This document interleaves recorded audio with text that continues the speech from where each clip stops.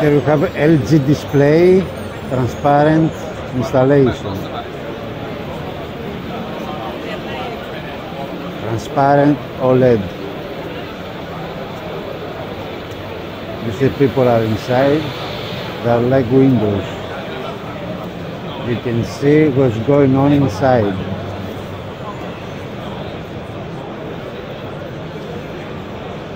The bezel is this, the thickness of the bezel is this one here, but still there is image. Here you can, here is the bezel, you see.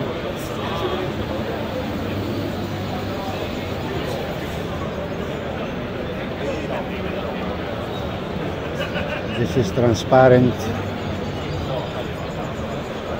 OLED from LG. So this is a transparent TV from inside. You can see nothing. Only outside you can see the content, the other side. So one example of transparent uh, display OLED is like this, to have it on a booth, to present products, and the glass to be an OLED transparent one. The products are inside, but the con you can have content on the glass, which is OLED transparent display. So here is another example, 30 inch transparent display. This is the same as well. Here we have another transparent display. This is a fireplace here. OLED touch. This is touch as well. You can touch this one. Can you touch it for me? You can touch and make some choices. Yes. The lady is touching the display here. There is a menu. We can adjust the content, lighting, off. Yes.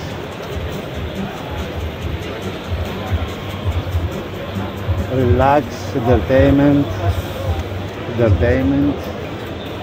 So we can listen to piano here, Julia Anderson. Here we have another uh, transparent OLED uh, example for uh, signage use. This is 30 inches, but imagine these guys will come to our houses next year, they say.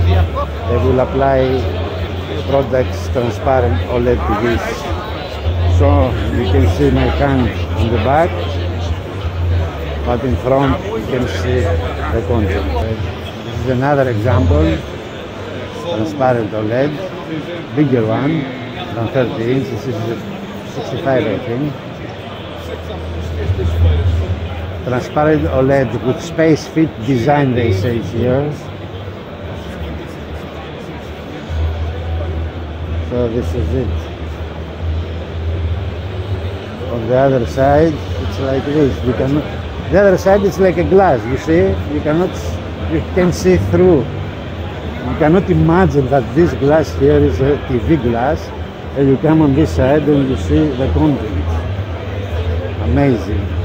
So here we are again with the big installation of the external transparent OLED displays from LG. We can see like a curtain. As we say, if you go on the other side, it's like a glass. But on this side, people you can see images, content on the OLED TVs. Thanks for watching guys.